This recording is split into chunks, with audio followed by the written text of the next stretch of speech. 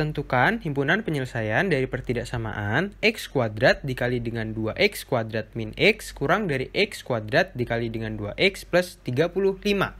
Maka pertidaksamaan ini jika dikalikan akan menghasilkan 2x pangkat 4 min x pangkat 3 kurang dari 2x pangkat 3 ditambah dengan 35 x kuadrat.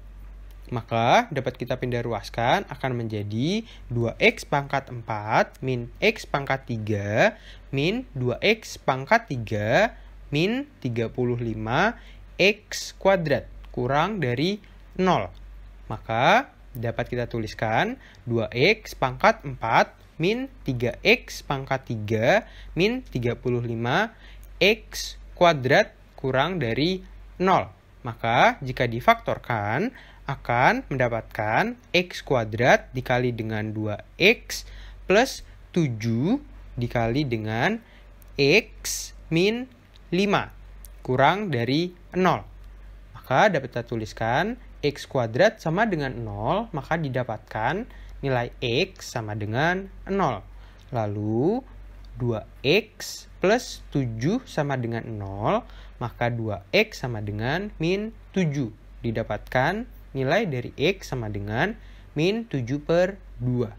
Lalu X min 5 sama dengan 0.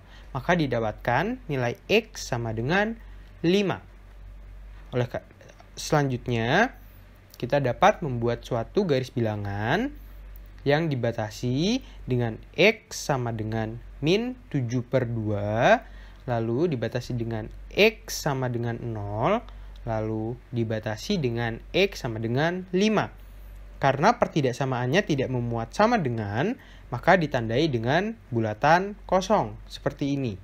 Selanjutnya, kita dapat uji titik, yaitu X sama dengan min 4, dapat kita tuliskan, uji titik, uji titik, maaf, uji titik, dengan X sama dengan min 4, maaf, dengan X sama dengan min 4, dapat kita masukkan ke dalam pertidaksamaannya yaitu X kuadrat dikali dengan 2X plus 7 dikali dengan X min 5. Maka dapat kita tuliskan min 4 kuadrat dikalikan dengan 2 dikali min 4 plus 7 dikali dengan min 4 min 5. Maka kita dapatkan hasilnya adalah 144.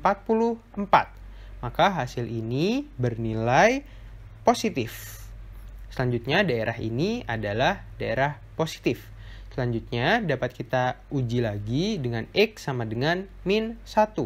Maka X sama dengan min 1 dapat kita masukkan min 1 kuadrat dikali dengan 2 dikali min 1 plus 7 dikali dengan min 1 min 5. Maka didapatkan hasilnya adalah min 30. Hasil ini bernilai negatif. Maka daerah ini adalah daerah negatif. Selanjutnya dapat kita uji X sama dengan 1. Maka X sama dengan 1 dapat kita masukkan menjadi 1 kuadrat dikali dengan 2 dikali 1 plus 7 dikali dengan 1 min 5. Maka didapatkan hasilnya adalah min 36. Hasil ini adalah hasil negatif. Oleh karena itu, daerah ini adalah bernilai negatif.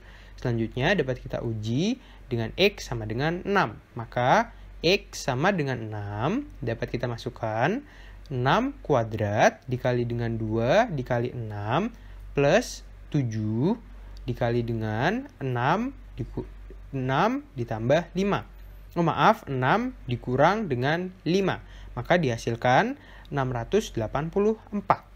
Maka hasil ini adalah hasil positif. Oleh karena itu, daerah ini adalah daerah positif.